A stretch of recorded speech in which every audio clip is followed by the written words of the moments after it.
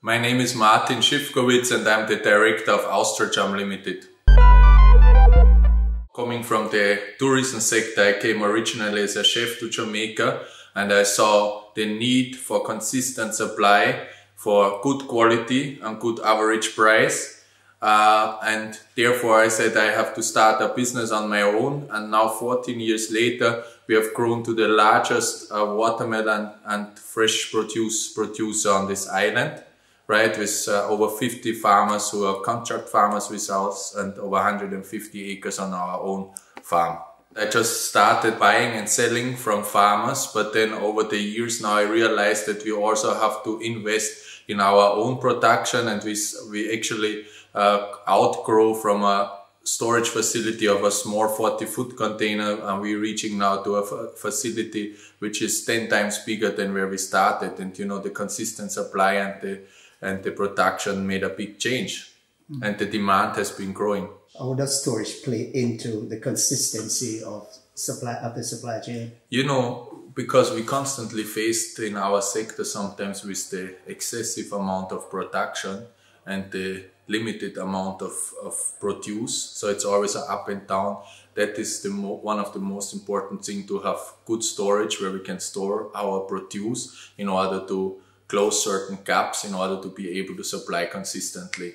And the market has to appreciate that. And I think storage is one of the triangles of successful farming. You know, you have the production, you have the, the storage, and you have the logistic to do the delivery. I have heard many establishments that take farming product from the Jamaican farmers complain about some of the challenges that they face getting the product on time for one and spoilage well, I could say to them they maybe choose the wrong supplier or the wrong farmer, but there are a lot such as AustroJam, who is a consistent supplier with good quality. Most of the time, those people are always complaining who are not willing to work with certain companies and certain farmers on a long-term basis. They're just mm-hmm. chasing the cheapest price. Winning two times the National Champion Farmer Award, I have been touring all over the island in the past, and I can tell you, our Jamaican farmers are the greatest good what we have in Jamaica.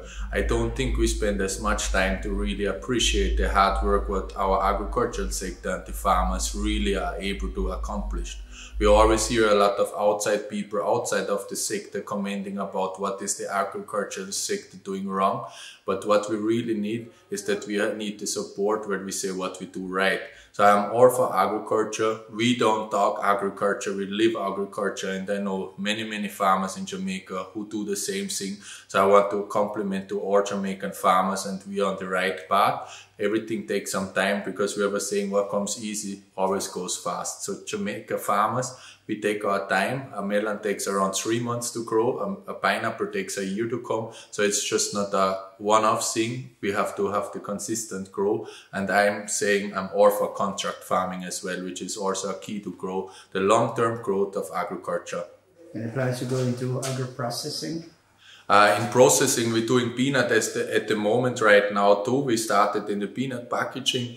Um, but as I say, everything takes little time, so we don't want to really chase certain things, but maybe next five years from now you comment we have also addition to our product line where we can launch something again. The beauty between Austria and Jamaica is that Austria has a lot of things in common like in Jamaica because the area where we are in St. Elizabeth is a mainly dominated farming community Austria, where I'm coming from, is a, is a huge community of farming as well. So I saw a lot of patterns and similarities between Austria and Jamaica, right? We don't determine, and I have never looked how we look or what we are. It's all about what we think about agriculture and, you know, farming and producing produce and we can sell it to the to the local people as well as to the tourist market with our beautiful sunshine in Jamaica being able to produce all year round, there's no better opportunity than Jamaica.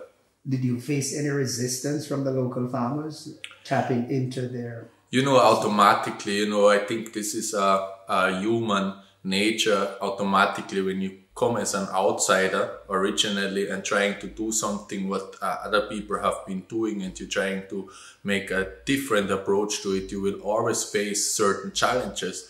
But the challenges over the years have actually motivated me and I found people who actually supported me. But I wouldn't pick that out to be a challenge only in Jamaica. It would be the same way if maybe a Jamaican come to Austria and he would face the same challenges, but determination is the key. And now that I'm a Jamaican citizen, uh, I'm one of Jamaica.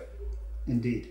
My message to the wider farmer community is continue farming, don't give up, don't be discouraged by the by the negative news sometimes which is said about this agricultural sector. Continue to farm. Our Jamaica have the greatest opportunity to farm anything, but be wise what you farm, farm it at the right time. Look for a market first before you farm and also know your expenses. And then there is nothing what can stop you.